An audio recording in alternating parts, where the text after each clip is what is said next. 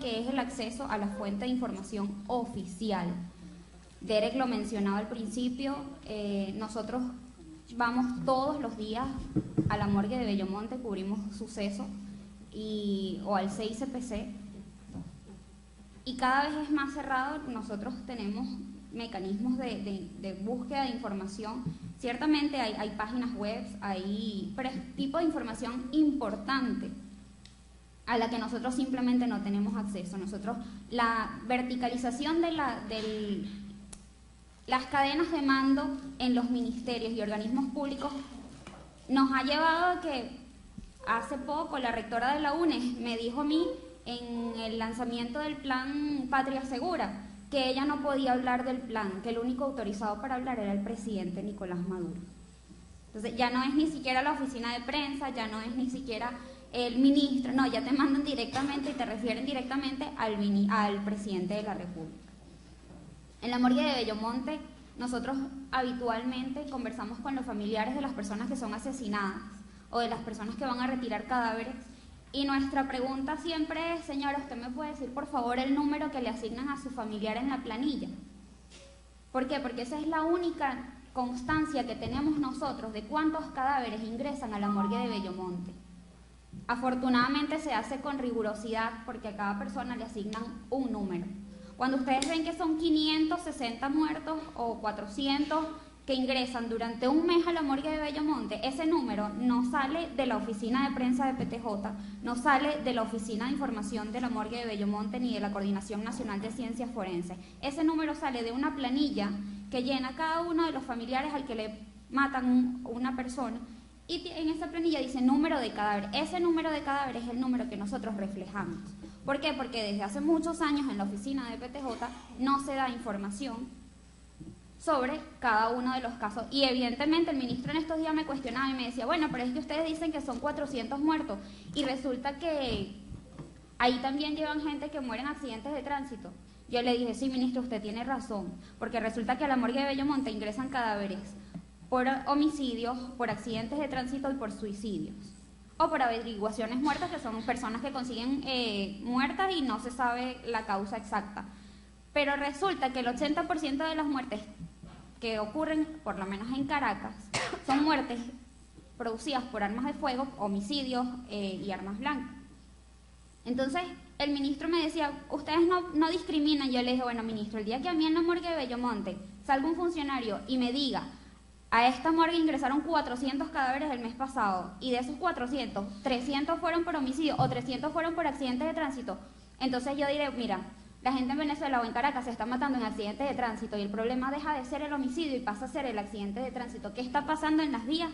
Que se mata tanta gente. Pero resulta que no, yo simplemente tengo el cuento de una señora que me dice, a mi hijo lo mataron esta mañana llegando de una fiesta y un número de una planilla. Ese es el acceso a la información que nosotros tenemos como periodistas de suceso.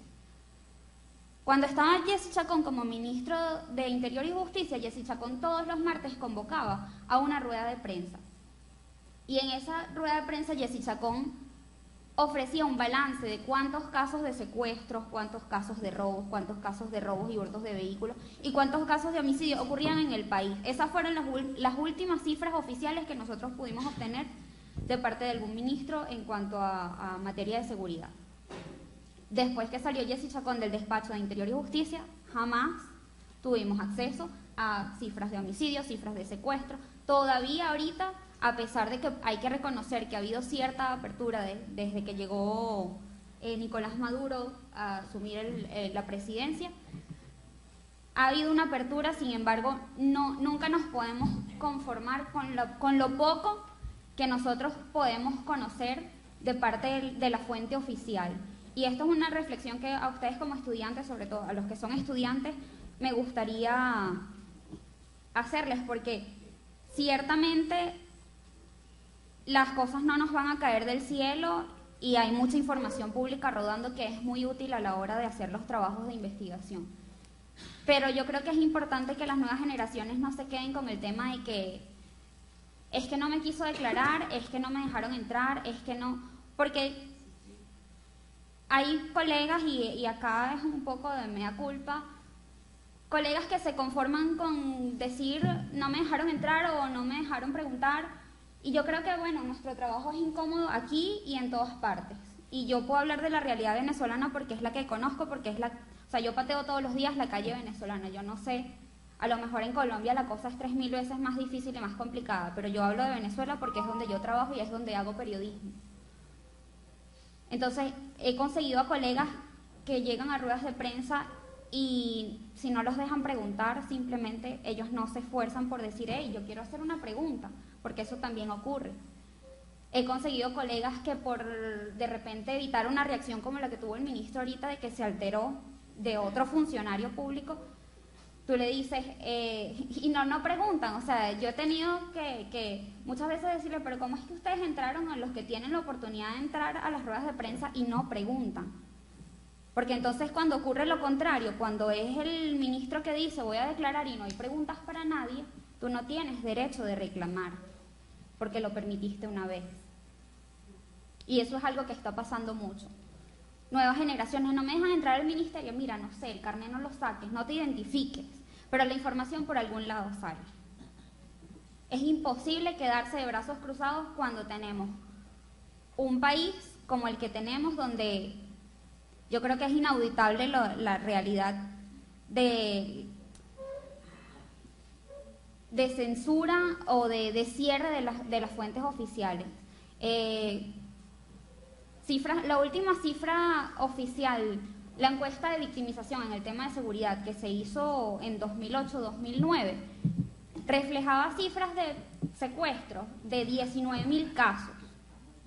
Pero resulta que esa cifra oficial termina disminuyéndose y diluyéndose entre eso fue hecho por la vicepresidencia del Ministerio de Interior y Justicia, esa encuesta se filtró y al final cuando tú ves los registros oficiales del CICPC, la gente no denuncia, entonces el caso no existe.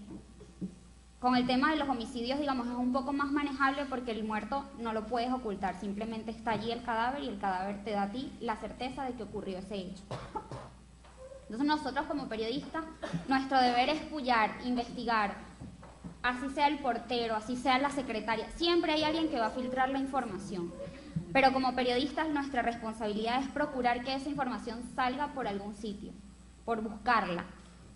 Somos incómodos, somos fastidiosos, somos, como lo decía, o sea, atorrantes, pero ese es nuestro trabajo. Esto es un trabajo que, es más de vocación que de, que de cualquier otra cosa porque nosotros somos los que tenemos que preocuparnos por porque esas cosas que a veces nosotros nos enteramos y obviamos, la gente se entere de lo que pasa.